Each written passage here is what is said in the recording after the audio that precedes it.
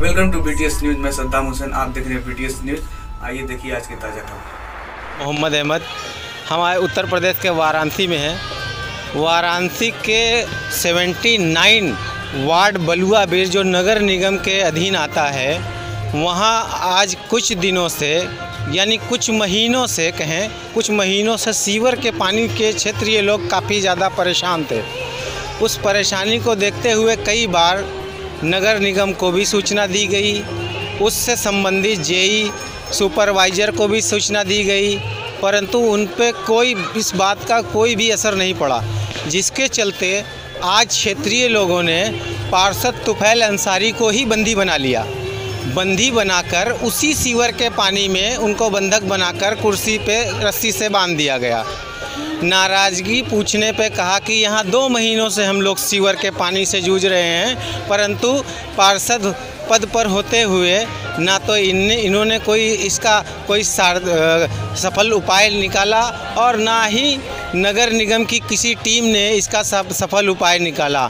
इसी से नाराज़ क्षेत्रीय लोगों ने तुफाइल पार्षद बलुआ बीर को ही बंदी बना लिया।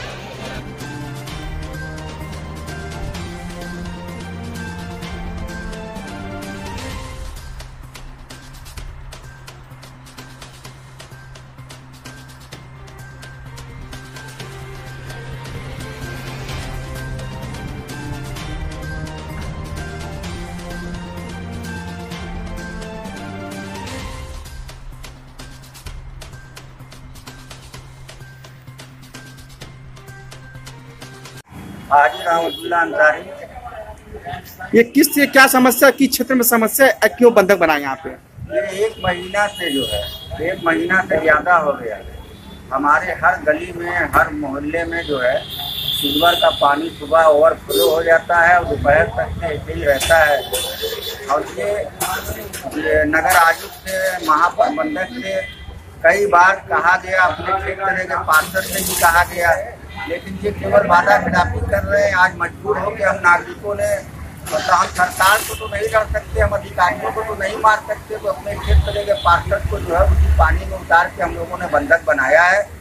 और जब तक के हम लोगों की मतलब पक्का आश्वासन नहीं मिलेगा, इसी तरह जो है तो पार्षद जी को इसी तरह यही पानी के अंदर हम लोग बंधक बनाएँगे।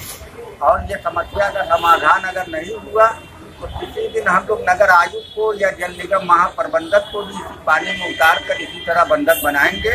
क्योंकि हम लोग अब उठ चुके हैं, हमारे बच्चे बीमार पड़ रहे हैं, हमारे यहाँ मच्छर जो है तो रातों दिन जो है तो पसपोस कर गए हैं तरह तरह की बीमारियों से हमारे बच्चे जो है परेशान हैं।